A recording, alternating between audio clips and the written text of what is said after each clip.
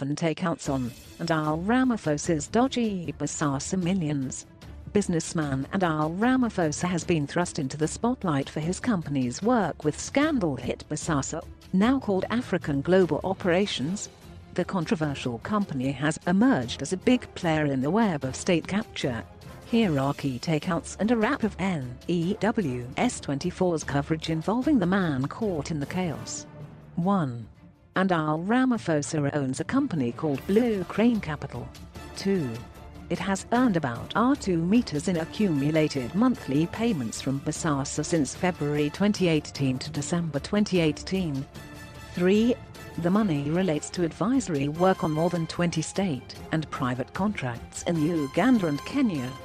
4.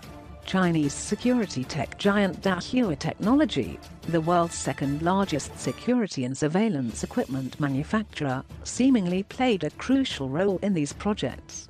5. The Bosasa deal was signed as Cyril Ramaphosa assumed leadership of the ANC.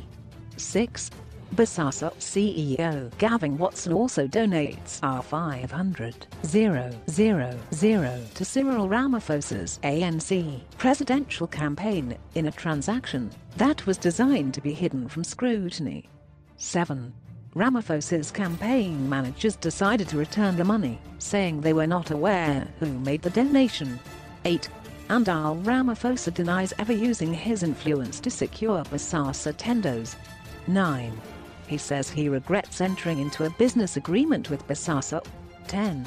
Bosasa is under currently caught up in a legal case relating to liquidation proceedings. 11. The president reiterated his commitment to appear before the State Capture Commission